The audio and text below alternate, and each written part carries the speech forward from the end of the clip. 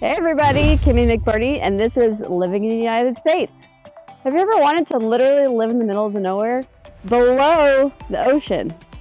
we are currently at the Badwater Basin in Death Valley, California. We are 282 feet below sea level. Rumor has it we're walking on some, some salty soil here, but we are diving in to check out Death Valley. So as you guys know, my family and I are traveling all over the US in our RV trying to figure out where we want to live. Death Valley is probably not on my list, but it got me thinking, do people live in Death Valley? I don't know. There's some pretty nice looking resorts here, so those people have to live somewhere, right?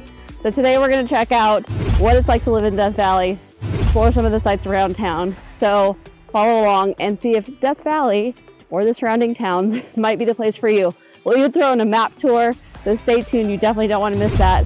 Uh, and let's go check it out. All right, so as I mentioned, my family is here in Death Valley. This is being filmed the day after the intro. So it is morning right now. It is December 5th, I believe. It is a sunny uh, 52 degrees right now. So I probably could ditch the sweater if I wanted to.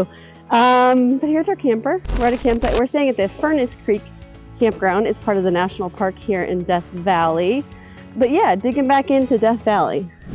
So yeah, naturally when I came to visit Death Valley, I wondered to myself, and you live in Death Valley? Who lives in Death Valley? Because the record high temperature in Death Valley, I think in the 30s, was 134 degrees Fahrenheit.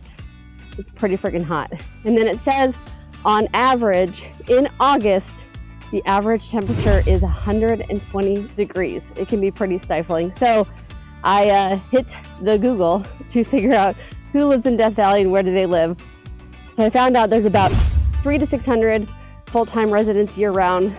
It's a bit seasonal for the full-time residents, but that's quite a few. Just from glancing around town, you know, I saw a lot of um, mobile homes, modular homes. So it seems like they mostly house the two populations of people who work here. Like I mentioned, there are a few resorts, which I'll show here.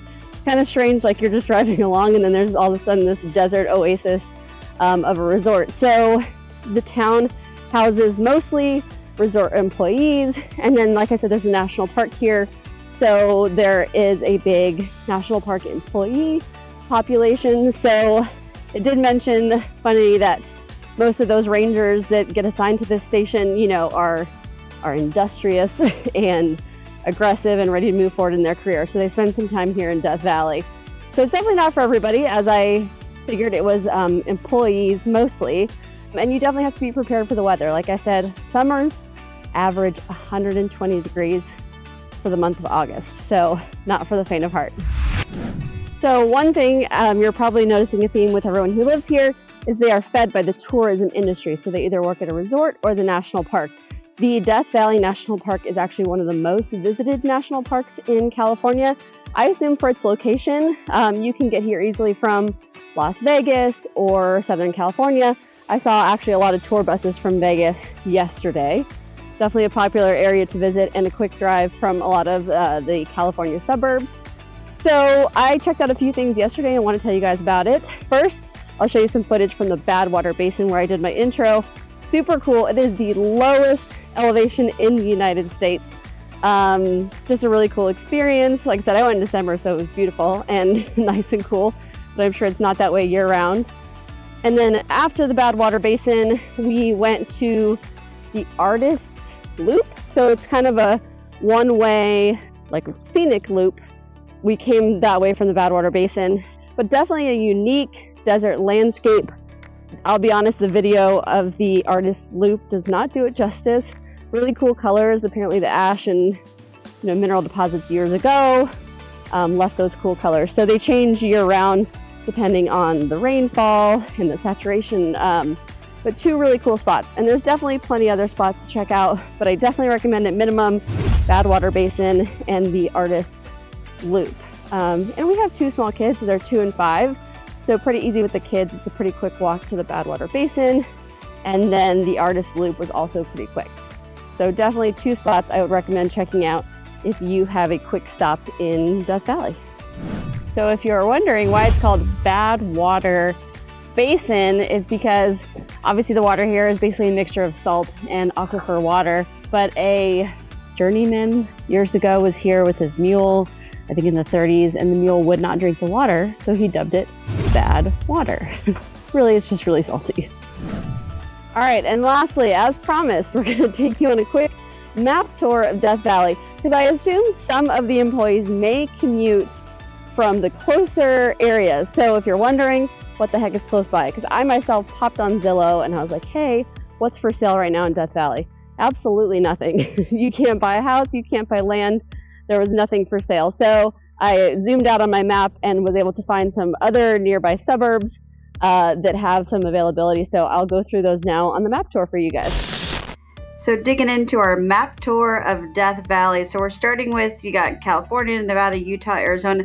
So Death Valley is kind of situated right here, tucked away just by Las Vegas. So we will zoom in. Death Valley, let's do Furnace Creek. So that's actually where we stayed.